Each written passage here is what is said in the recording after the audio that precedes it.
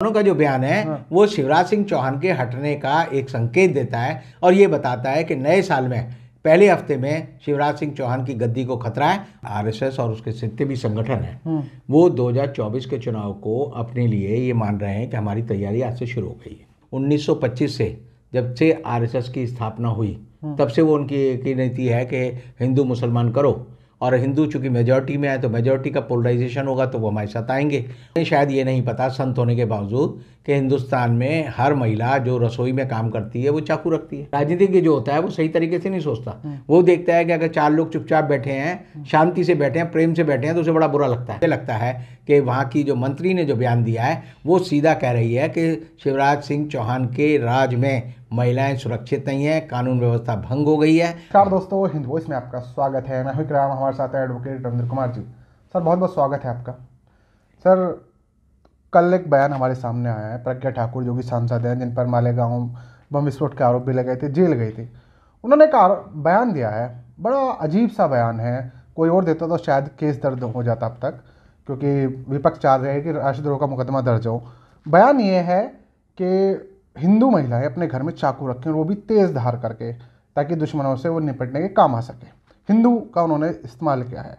या तो कहते सभी महिलाएँ रखें तो हम फिर भी लगता है कि सभी महिलाओं के लिए बात की गई लेकिन हिंदू पर्टिकुलर नाम लेकर वो कह रही हैं ऐसा उन्होंने क्यों कहा और इसके क्या मतलब निकाले जा सकते हैं? देखिए आप एक बात समझ लीजिए कि भारतीय जनता पार्टी इस समय चुनाव मोड में है। अच्छा। और चुनाव मोड में भारतीय जनता पार्टी नहीं है बल्कि आरएसएस और उसके जितने भी संगठन हैं। हम्म। वो 2024 के चुनाव को अपने लिए ये मान रहे हैं कि हमारी तैयारी आज से शुरू हो गई है। अच्छा। अभी जो चुनाव हुए जिसमें नतीजे आए उसमें हम देखते हैं कि गुजरात को छोड़कर बाकी सब जगह जो है भारतीय जनता पार्टी के लिए स्थिति जो है बड़ी निराशाजनक रही। हम्म हिमाचल वो बुरी तरह हारे और उसके बाद जितने भी बाई इलेक्शंस हुए चाहे विधानसभा के हों या लोकसभा के हों उनमें भी भारतीय जनता पार्टी को बड़ी मुश्किल हुई और वो हर जगह हारे हैं और हारने के बाद उनके अंदर एक संदेश क्या है कि जनता उनके खिलाफ है। अब भारतीय जनता पार्टी की एक ही रणनीति है जो कि 1925 से जब से आरएसएस की स्थापना हुई तब से वो उनकी एक ही नीति है कि हिंदू मुसलमान करो और हिंदू चूँकि मेजॉरिटी में आए तो मेजॉरिटी का पोलराइजेशन होगा तो वो हमारे साथ आएँगे। और जब वो हमारे साथ आएँगे तो हम उनके वोट मिलेंगे और जब हमें उनके वोट मिलेंगे तो हमारी सरकार बन जाएगी। तो एक उनका एक कई बार आजमाया हुआ फार्मूला है। उसी के तहत साध्वी प्रज्ञा ठाकुर ने कहा कि हम जो है हिंदू महिलाओं को एक धारदार चाकू अपने घर में रखना चाहिए।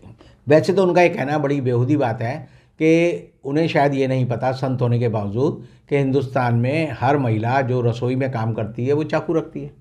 और हर चाकू में धार होगी तभी वो उससे सब्ज़ी काटेगी तभी वो और उसका इस्तेमाल कर सकेगी। तो चाकू में धार लगा कर रखे ये कहना ऐसे ही है जैसे आप टॉयलेट में जाके कहो कि वहाँ पर जो है पानी का एक लोटा होना चाहिए या साफ़ करने के लिए कागज़ होना चाहिए जो रखना चाहिए। हम्म।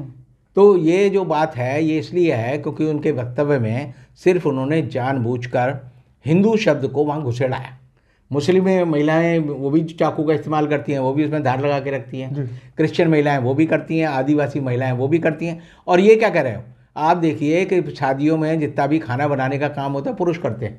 हलवाई सारे पुरुष होंगे। खान सामे सारे पुरुष होंगे। बिल्कुल। खान सामी नहीं बोलते हम खान सामा बोलते हैं। खान साहब इसी तरह आप देखिए कि वो भी सब चाकू का इस्तेमाल करते हैं। हाँ। और उनके चाकू में हमेशा धार होनी चाहिए। इवन मछली काटने वाला वो भी चाकू का इस्तेमाल करता है। सब्ज़ी काटने वाला हलवाई भी जो है जब बर्फ़ी काटेगा तब भी चाकू का इस्तेमाल होगा। तो चाकू में धार होनी चाहिए, ये एक ऐसा वक्तव्य है, जैसे ये कहना चाहिए कि सूरज को रोज निकलना चाहिए, चाँद को पूर्णमासी के दिन आना चाहिए। ये ऐसी बातें हैं, ये बताती हैं कि इन लोगों का जो दिमागी दिवालियापन है, जो आईक्यू है, वो बड़ा रसातल में चला गया है और इनके पास जो है सोचने समझने की बुद्धि खत्म हो गई है। और यही बात है कि अपनी बात में तड़का लगाने के लिए ये तड़का लगाना है जैसे आपने दाल बनाई तो उसमें तड़का लगा दिया छौंक लगाना जिसे हम बोलते हैं तो हिंदू शब्द का छौंक लगाकर जो उसने कहा है उससे ही से यहाँ पर आपने ये सवाल किया। अदरवाइज़ कोई सवाल नहीं आता। कोई कहे जी महिलाओं को अपने घर में चाकू को जो है धार लगा के रखना चाहिए या अपने बर्तन माँज के धो के रखने चाहिए या घर में झाड़ू लगा के रखनी चाहिए जो व्यक्ति को काम सामान्य तौर पे करना है वो कर रहे हैं। हम्म। लेकिन उसमें जो है चूँकि राजनीतिक आदमी जो है वो उल्टा सोचता है। राजनीतिज्ञ जो होता है वो सही तरीके से नहीं सोचता। वो देखता है कि अगर चार लोग चुपचाप बैठे हैं शांति से बैठे हैं प्रेम से बैठे हैं तो उसे बड़ा बुरा लगता है। वो कहेगा इनमें आपस में कोई ऐसी बात करो कि इनमें मनमुटाव हो जाए मारपीट हो जाए झगड़ा हो जाए फिर वो कहेगा जी अब हम शांति यात्रा निकालेंगे। तो इसलिए हमेशा राजनेताओं के बारे में समझ लीजिए कि अगर आपने राजनेता अनपढ़ चुने हैं अगर आपने राजनेता ऐसे चुने हैं जिनकी कोई क्वालिफिकेशन नहीं है जिनका कोई ज्ञान नहीं है और अगर आप उन्हें चुन लेते हैं तो वो आपके घर में आपके समाज में आपके परिवार में हमेशा कोई ना कोई ऐसा काम करेंगे जिससे कि आपको तकलीफ़ हो। सर ये तो होगी प्रज्ञा ठाकुर क्योंकि वो भोपाल से हैं सांसद है वहाँ की। वहीं की एक मंत्री और हैं जो मध्य प्रदेश के मंत्री उषा ठाकुर। इससे पहले उन्होंने एक दिन पहले बयान दिया कि लाइसेंस बढ़ाइए। लाइसेंस लेने चाहिए आत्मरक्षा के लिए। लाइसेंस की ज़्यादातर बढ़ोतरी होनी चाहिए और उसमें भी उन्होंने कहीं ना कहीं वो एजेंडा उसमें किया है। ऐसा क्यों? इलेक्शन है ठीक है। मामा जी जो वहाँ पे हैं चार बार के मुख्यमंत्री है क्या कोई और चीज़ नहीं है जिसके कारण जाके वोट मांग ले जनता के बीच?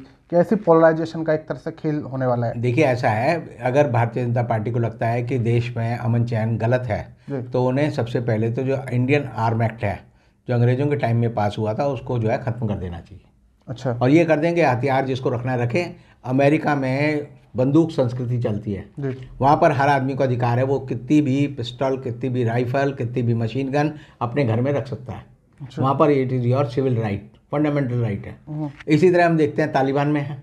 इसी तरह आप जाएँगे आप सुनेंगे कि पेशावर जो कि पाकिस्तान का एक प्रोविंस है हम्म। वहाँ पर जो है हथियार जो है किलो के हिसाब से बिकते हैं। कि एक किलो गोली दे दो एक किलो फलाना दे दो। हम्म। तो अगर आपको देश में अमन चैन से दुश्मनी है तो भारत सरकार को चाहिए पहले अमन चैन को बर्बाद करने के लिए उन्हें जो है इंडियन आर्म एक्ट जो है उसे रद्द करना चाहिए। और सब आदमी को कहे भाई तुम्हें जितनी तुम्हारी हैसियत है उतना आप जो है अपना खर्च करो और हथियार खरीद लो।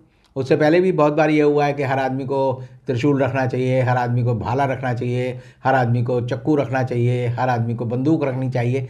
सवाल यह है कि इसका सीधा मतलब है कि एक मंत्री ये कह रहा है कि हमारे प्रदेश में, मध्य प्रदेश में महिलाओं की जान को खतरा है, अमन चैन को खतरा है, सरकार विफल हो गई है और सरकार कानून व्यवस्था का पालन कराने में गुंडे बदमाशों को काबू में रखने में असफल हो गई है और इसका मतलब यह है कि मध्य प्रदेश की स्थिति ऐसी खराब है कि वहाँ पर चुनाव से पहले वहाँ पर राष्ट्रपति शासन लगना चाहिए और राष्ट्रपति शासन लगने के बाद वहाँ गवर्नर रूल होना चाहिए और गवर्नर रूल के तहत जो है वहाँ पर वहाँ की कानून व्यवस्था को सुधारना चाहिए क्योंकि जब धारा तीन छप्पन जिसे हम कहते हैं हम्म। जिसमें कि वहाँ पर राष्ट्रपति शासन किसी भी प्रदेश में लगाया जाता है तो वहाँ पहला सवाल यही होता है कि क्या वहाँ कानून और न्याय की व्यवस्था भंग हो गई है हम्म। तो आज के समय में मुझे लगता है कि वहाँ की जो मंत्री ने जो बयान दिया है वो सीधा कह रही है कि शिवराज सिंह चौहान के राज में महिलाएँ सुरक्षित नहीं हैं कानून व्यवस्था भंग हो गई है और इसलिए ये उचित केस है जिसमें कि वहाँ पर या तो मुख्यमंत्री को बदला जाए और या वहाँ पर राष्ट्रपति शासन लगे। मुझे लगता है कि दिल्ली के इशारे पर उन्होंने बयान दिया है कि वहाँ पर जो है मुख्यमंत्री को बदला जाए जैसे वहाँ पर गुजरात में मुख्यमंत्री बदला गया था। अच्छा। और गुजरात में पहले जब कैबिनेट बदलने का सिलसिला जो शुरू हुआ हुआ है। जी हाँ, चुनाव से ठीक पहले बदल दो तो जनता का मूड बदल जाएगा। मूड बदल जाएगा नया आएगा नई बात करेगा हाँ। थोड़ा बहल जाएँगे। हम्म। और जो जिनकी भड़ास है हम्म। कि शिवराज सिंह चौहान को 20 साल हो गए तकरीबन राज करते हुए तो लोगों के उनके खिलाफ जो गुस्सा है वो एंटी इनकम्बेंसी का काम खत्म हो जाएगा। हम्म, तो एक तरह से ये प्रज्ञा ठाकुर का बयान जो है और ये प्रज्ञा ठाकुर का जो बयान है दोनों ठाकुर जी। दोनों का जो बयान है हाँ। वो शिवराज सिंह चौहान के हटने का एक संकेत देता है और ये बताता है कि नए साल में पहले हफ़्ते में शिवराज सिंह चौहान की गद्दी को खतरा है और उनको हटाकर दिल्ली भेजा जा सकता है और वहाँ पर एक नया मुख्यमंत्री बन सकता है। और उसके लिए जो है, बीजेपी के बहुत सारे लोग ये सोचते हैं कि जो सिंधिया परिवार का जो युवराज उनके आया है, वो जो है ज़्यादा अच्छा रहेगा। और ऐसी हालत में ये जो है, खुशी मनाने का मौका हो सकता है सिंधिया परिवार के लिए। और जो शिवराज सिंह चौहान है, उनके लिए मौका है कि वो जो है, केंद्र में आकर जो है देश की सेवा करें। बहुत बहुत शुक्रिया सर, आपने दोनों के ही बयानों की मतलब बता दिया कि मध्य प्रदेश से दो बयान हमारे सामने क्यों आए हैं।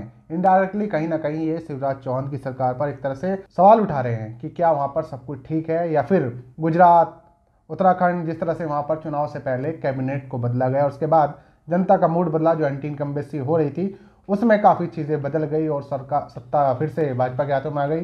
तो हो सकता है कि हमें आने वाले दिनों में सर ने बताया, जिस तरह का एनालाइज किया है तो उस पर आप लोग नीचे कमेंट कर सकते हैं, क्या सच में मध्य प्रदेश के अंदर पूरी कैबिनेट बदली जाएगी, मुख्यमंत्री बदला जाएगा, नीचे कमेंट कीजिएगा वीडियो को ज़्यादा से ज़्यादा शेयर कीजिएगा।